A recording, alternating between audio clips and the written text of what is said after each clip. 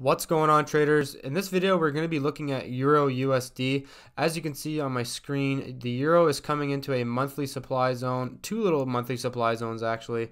So I plan on accumulating a short position around this area, but I'm not just going to be placing, you know, a, a sell short order. I'm going to be looking for a couple things in the chart. And in this video, I'll, I'm basically going to be breaking down exactly what I'm looking for. And as well, we are going to be looking at the COT data, the COT reports to see how the banks are positioned in the euro right now, and it's looking like they are taking profits from all their buys down below, which is all kind of all adding up. So stay tuned for this video. I hope this helps, and you know, don't forget to hit that like button and subscribe if you want to see more videos like this. So before we look at any more charts, I just wanted to point a couple things out here on the COT data here. This is a collection of the bank's positions uh, over time on the Euro USD. And as you can see on the left here, this is their long uh, exposure. They're very long, but you know, back here they were at 242, 262, 266, and now they're back at like 206. So it's looking like they are, you know, over time. Uh, reducing their long their long exposure, even though as you can see here, they're clearly more bullish bias. They're 75% long to 25% short. But if you if you pay attention you know, to the numbers, you know, back here, 52,000, you know, in September, 52,000 shorts. Now they're at 68,000. So it's pretty clear that they are still adding longs, of course, because they need to push price up to the supply zone, which is where they want to get rid of their longs, right? Um, but so they still have to be buying, but at the same time, they're accumulating a short position. So what I'm hoping to see in these COT reports, we'll look at a chart next, but what I'm hoping to see in these COT reports over the next few weeks is these longs start to get reduced and more shorts get added. You know, in the last week here, they did add some longs, but they did add some shorts as well, which makes me think that they are kind of just holding up price at, you know, a similar level. But I do expect a rally coming down from here at this monthly supply zone, and these COT reports will give us just a little extra confluence, and it'll really show us if they are taking profits.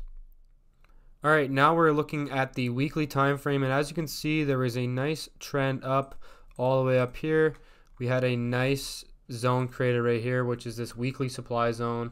And if you see these dotted lines as I have written here, this is the whole monthly supply that we were looking at earlier. So on this smaller time frame, we are coming up to this month, this overall monthly supply, and there's a nice weekly supply zone within it.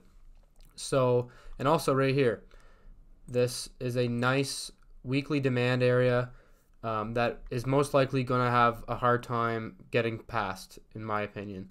This trend line up is not the greatest trend line. This isn't really that clear of basing, but the, the momentum is clearly up on the weekly. And what I kind of want to see is for price to maybe, it'll probably hit this zone, base out here, probably hit a daily zone, daily demand zone, which I'm going to show you next and hopefully push break this weekly supply hold this monthly area of supply and then break back down. And hopefully they'll break a weekly demand zone right here and that'll be the ultimate signal to get in short. Because you know looking at the daily time frame which I'll bring up you know we might as well just bring it up now. If you look at the daily time frame here this is the only demand zone that I see. If price does break this area on the daily come back down, we'll have a nice demand area right here that will react off.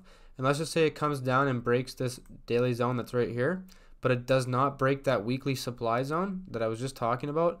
It's a little risky because you know uh, the, the monthly is the monthly momentum is up and the daily time frame is not that strong of evidence that you know sellers are picking up so i want to see some sort of weekly supply zone created and respected, right? As well as a weekly demand zone removed. So it's going to be tough to get, but hopefully also what will happen. This is another scenario that I could see playing out is we're we're probably going to be up here for quite a while. Like I expect like months.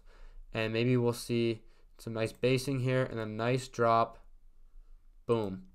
Which what will that do? It'll create a nice supply zone right here and maybe that'll be a time to get in short as well with our first targets down to this weekly demand zone. Because like I said we're probably going to have a difficult time going through there.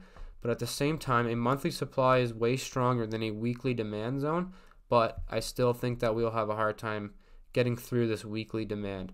So there's a couple options that I see playing out. I don't want to just look at the daily in this situation because if you look at the monthly at my top left screen right here, the the momentum clearly has shifted to the upside. Yes, we're headed into a monthly supply zone, but momentum is up right now.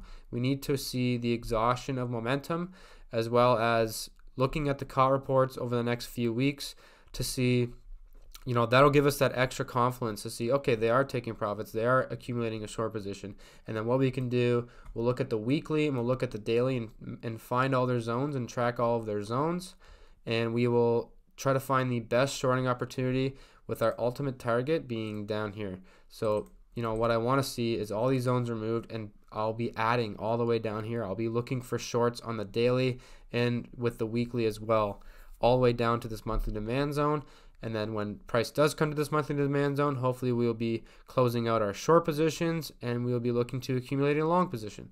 So I hope this all helped. Let me know if it did. If you have any questions, let me know down in the comments below. If you have any pairs you want me to break down, just let me know as well. And don't forget to like and subscribe. All right, everyone. Cheers.